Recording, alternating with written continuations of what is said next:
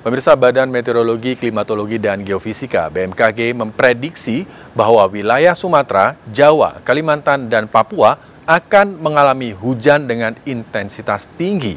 BMKG juga memperingatkan potensi bencana alam hidrometeorologi akibat hujan intensitas tinggi.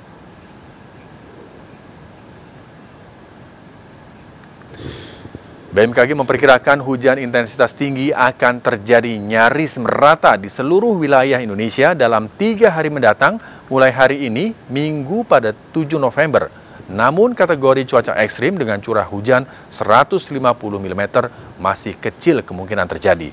Wilayah DKI Jakarta, hujan diperkirakan terjadi pada siang menjelang malam hari dengan mengantisipasi hujan disertai kilat dan angin kencang.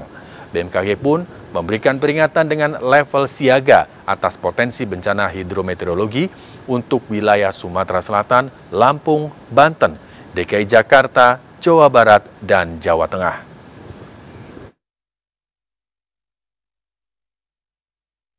Kalau untuk dikata, uh, dikatakan ekstrim sebenarnya potensinya mas uh, ada.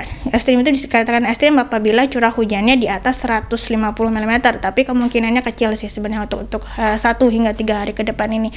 Cuman memang potensi hujannya untuk wilayah DKI Jakarta secara khusus memang masih tinggi. Potensi hujannya terutama di ke, di hujan-hujan yang di siang hingga menjelang malam hari.